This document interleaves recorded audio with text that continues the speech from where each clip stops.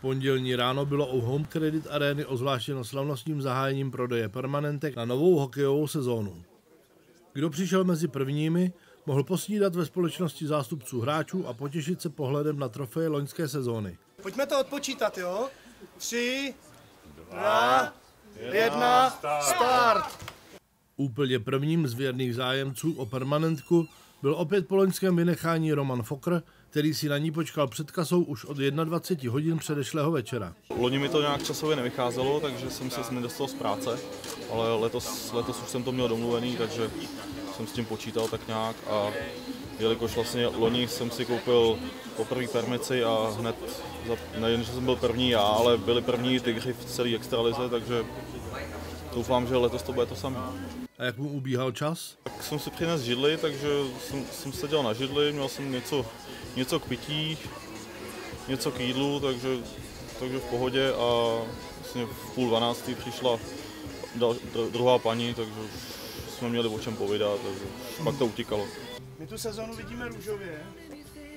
Druhou čekající byla Dana Slavíková, která zastoupila svého přítele z Jaromíra Žlábka, jenž měl pracovní povinnosti. Vím, že tady už před těmi dvěmi roky byl s přítelem a byla jsem ráda, protože jsme si spolu povídali a pak jsme chvíli tak klimbali, takže nám to rychle uteklo. Sezonu a na vás první. Jo, tak na vás. Zdraví. Zdraví.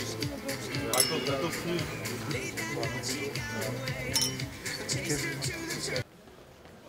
Hokejisté Bílých tigrů začali trénink na novou sezónu po rozhýbání tentokrát v posilovně. Přípravný období jsme začali o týden dřív než v sezóně, jinak se tam k žádným výrazným změnám nedojde.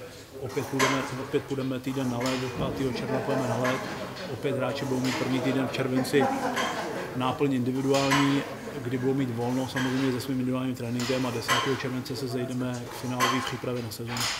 Sešlo se nás dneska 16 hráčů, samozřejmě nejsou, nejsou, nám, nejsou nám dispozici Aleš Teska, který ještě chytá USHL, samozřejmě kolega v brankovišti Romana Vila a jsou omluveni Adam Janošík, je omluvený Mario Bližňák, který dokončil, teď dohrál mistrovství světa, teď dost, budou dostávat určitý čas teď volno, než se zapojí do přípravy a samozřejmě chybí hráči, kteří jsou s náma domluvení, kteří budou mít svůj individuální přípravu, svůj individuální program.